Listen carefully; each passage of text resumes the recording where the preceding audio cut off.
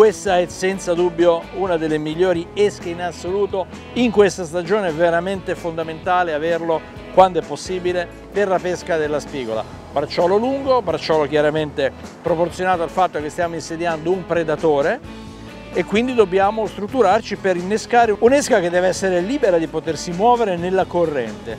L'innesco è molto semplice naturalmente, io personalmente lo faccio partendo dalla testa, per questo tipo di inneschi utilizzo uno Shinken misura 1, ma possiamo assolutamente usarlo più grande, deve essere equilibrato alla dimensione dell'esca, non dobbiamo avere un amo che pesa più dell'esca e la fa affondare. In questo caso la versione 50355, un amo affidabilissimo che ha tenuta anche su prede molto importanti. Facciamo dei braccioli lunghi un metro, un metro e mezzo, lo stendiamo bene la corrente, peschiamo nei primi 30 metri, 40 metri e stiamo veramente insediando la spigola con il meglio che sia possibile tra le esche non vive.